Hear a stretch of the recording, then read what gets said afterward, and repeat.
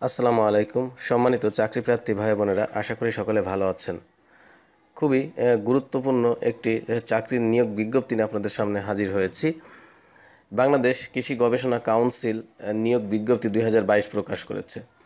বাংলাদেশ কৃষি গবেষণা কাউন্সিলের রাজস্ব খাতভুক্ত স্থায়ী নিম্নলিখিত শূন্য পদসমূহ পূরণের জন্য প্রকৃত বাংলাদেশি নাগরিকদের নিকট হতে দরখাস্ত আহ্বান করা যাচ্ছে। প্রথমে যে পদটি দেখতে পাচ্ছি প্রোগ্রামার, এখানে সর্বোচ্চ বয়সসীমা পঁয়ত্রিশ বৎসর, পদের সংখ্যা একটি। এখানে প্রয়োজনীয় যে যোগ্যতা লাগবে, কোনো স্বীকৃত বিশ্ববিদ্যালয় হতে computer science computer science and engineering engineering information and communication technology সংশ্লিষ্ট বিষয়ে দ্বিতীয় শ্রেণি বা সমমানের সিজিপিএ চার বছর মেয়াদী স্নাতক বা সমমানের ডিগ্রি। এখানে সকল জেলার প্রার্থীরা আবেদন করতে পারবেন। এরপর প্রোটোকল অফিসার এখানে বেতন স্কেল পঁয়ত্রিশ হাজার পাঁচশো থেকে সাতষট্টি হাজার দশ, সর্বোচ্চ বয়স পঁয়ত্রিশ বৎসর, পদ সংখ্যা একটি। এখানে কৃষিবিজ্ঞান বিজ্ঞান বিজ্ঞান ও গণযোগাযোগ ও সাংবাদিকতা বিষয়ে স্নাতক বা সম্মান ডিগ্রি সহ স্নাতকোত্তর বা সমমানের ডিগ্রি লাগবে। সকল জেলার প্রার্থীরা আবেদন করতে পারবেন।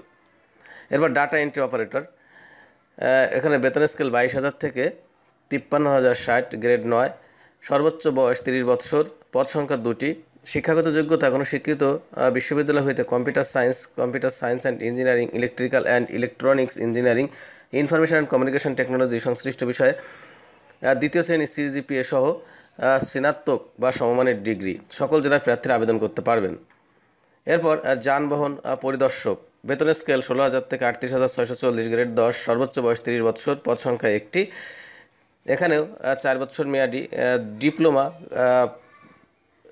অটোমোবাইল ইঞ্জিনিয়ারিং বা পাওয়ার টেকনোলজি বিষয়ে সম্পূর্ণ হতে হবে। সকল জেলার প্রার্থীরা আবেদন করতে পারবেন।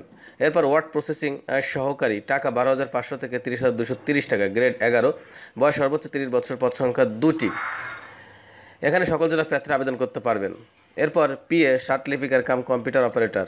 বেতন স্কেল এগারো হাজার থেকে ছাব্বিশ হাজার পাঁচশো নব্বই। সর্বোচ্চ বয়স তিরিশ বছর, পদ সংখ্যা দুটি। সকল জেলার প্রার্থীরা আবেদন করতে পারবেন। এরপর অডিটর বেতন স্কেল এগারো হাজার থেকে ছাব্বিশ হাজার পাঁচশো নব্বই, সর্বোচ্চ বয়স তিরিশ বছর, পদ সংখ্যা একটি। এখানে শিক্ষাগত যোগ্যতা চাওয়া হয়েছে বাণিজ্য বিভাগের দ্বিতীয় শ্রেণির সিজিপি বা স্নাতক বা সমমানের ডিগ্রি।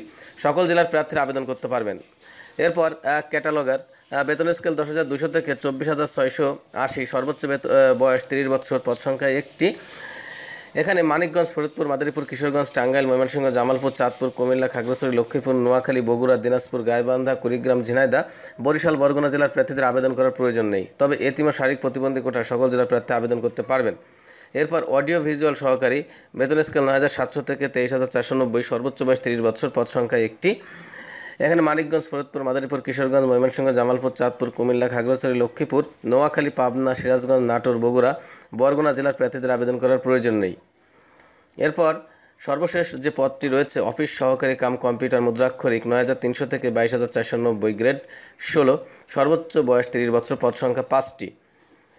এখানে কোনো স্বীকৃত বোর্ড হইতে দ্বিতীয় বিভাগ বা সমমানের সিজিপি উচ্চ মাধ্যমিক সার্টিফিকেট বা সমমানের পরীক্ষা উত্তীর্ণ।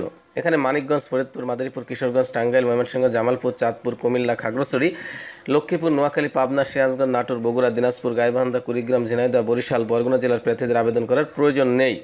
এটা হচ্ছে আমাদের মোটামুটি সার্কুলারটা এখন এই সার্কুলার যদি বিস্তারিত আপনারা দেখতে চান, তাহলে এবং কীভাবে অ্যাপ্লাই করবেন সেটার যে অ্যাড্রেস সেটা আমি লিংক আকারে অবশ্যই ডিসক্রিপশন বক্সে দিয়ে দিব। আপনারা সেখান থেকে সম্পূর্ণ সার্কুলারটি দেখতে পারবেন এবং অ্যাপ্লাই করতে পারবেন। এখন আমরা দেখব এখানে কী কী শর্তাবলী চাওয়া হয়েছে। এক সাত দু হাজার বাইশ খ্রিস্টাব্দ তারিখে প্রার্থীর বয়সসীমা তিন নং কলামের বর্ণনা অনুযায়ী হতে হবে। তো মুক্তিযোদ্ধা, শহীদ মুক্তিযোদ্ধাদের পুত্র, কন্যা ও শারীরিক প্রতিবন্ধীদের ক্ষেত্রে বয়সসীমা সর্বোচ্চ বত্রিশ বৎসর। এখানে আবেদন পত্র পূরণ সংক্রান্ত যে বিষয়টা দেওয়া হচ্ছে, অনলাইনে আবেদনে ইচ্ছুক প্রার্থীগণ BARC dot Teletalk dot com dot BD ওয়েবসাইটে প্রবেশ করে আবেদনপত্র পূরণ করতে পারবেন। এই আবেদনপত্র পূরণ করার জন্য যে ওয়েবসাইটের লিঙ্কটি, এই লিঙ্কটা আমি অবশ্যই ডিসক্রিপশন বক্সে দিয়ে দেবো, আমি আগেই বলেছি, সেখানে সরাসরি ক্লিক করে আপনারা আবেদন করতে পারবেন। কীভাবে আবেদন করবেন সেটাও আমি আপনাদেরকে দেখিয়ে দিব। অনলাইন আবেদনপত্র পূরণ ও পরীক্ষার ফি জমাদান শুরুর তারিখ দুই জুন দুই হাজার বাইশ খ্রিস্টাব্দ সকাল দশ ঘটিকা। অনলাইন আবেদনপত্র পূরণ ও জমাদানের শেষ তারিখ তিরিশ জুন দুই হাজার বাইশ খ্রিস্টাব্দ বিকাল পাঁচ ঘটিকা। এখন আমরা দেখব কীভাবে আপনারা অনলাইনে আবেদনপত্র পূরণ করবেন। অনলাইনে আবেদনপত্র পূরণ করার জন্য আমি যে অ্যাড ওয়েবসাইটের অ্যাড্রেসটি লিঙ্ক আকারে ডিসক্রিপশন বক্সে দিয়ে দেবো। সেই ডিসক্রিপশন বক্সের লিঙ্কে জাস্ট ক্লিক করলে এরকম একটা ইন্টারফেস আপনাদের সামনে শো করবে। এখানে দেখতে পাচ্ছেন, প্রথমে দিয়ে আছে সার্কুলার এরপরে অ্যাপ্লাই নাও আপনারা যদি সার্কুলারটা দেখতে চান, তাহলে সার্কুলার ক্লিক করবেন। আর যদি অ্যাপ্লাই করতে চান, তাহলে অ্যাপ্লাই নাও ক্লিক করবেন। অ্যাপ্লাই নাও ক্লিক করলে আপনাদের সামনে ঠিক এরকম একটা ইন্টারফেস শো করবে। এখানে দেখতে পাচ্ছেন আমি এত সময় যে পদগুলোর কথা বললাম, সেই টোটাল পদগুলো এখানে দেওয়া আছে। এখন আপনি কোন পদে অ্যাপ্লাই করবেন? জাস্ট সেই পদে আপনাকে ক্লিক করতে হবে। ফর এক্সাম্পল আমি প্রোগ্রামের পদে অ্যাপ্লাই করতে যাচ্ছি, আমি প্রোগ্রামে ক্লিক করলাম। ক্লিক করার পর আপনাদের সামনে এরকম একটা ইন্টারফেস শো করবে। এখানে বলা হচ্ছে are you a premium member of all jobs আপনি ইয়েস অথবা নো দেবেন। এখানে অবশ্যই নো দিবেন। আমি নো দিয়েছি। তারপর নেক্সটে ক্লিক করতে হবে। নেক্সটে ক্লিক করার পর আপনাদের সামনে আবেদন ফর্মটি চলে আসবে। এখন এই আবেদন ফর্মটি আপনাকে ফিল করতে হবে। যেমন applicant's name father's name mother's name এগুলো আপনাকে পূরণ করতে হবে। ডেট অফ বার্থ তারপর আপনি জেন্ডার পুরুষ বা মহিলা সেটা সিলেক্ট করতে হবে ন্যাশনালিটি ন্যাশনাল আইডি নাম্বার এই সবগুলো আপনাকে অবশ্যই ফিল আপ করতে হবে। অর্থাৎ যেগুলো রেজিস্টার দেওয়া আছে, এগুলো অবশ্যই ম্যান্ডেটরি বাধ্যতামূলক আপনাকে ফিল আপ করতে হবে। এখানে সব কিছু ফিল আপ করার পর এবং শেষে দেখতে পাচ্ছেন, এখানে দেওয়া আছে this above information is correct অর্থাৎ আপনি যে তথ্যগুলো পূরণ করেছেন, সবগুলো সঠিক।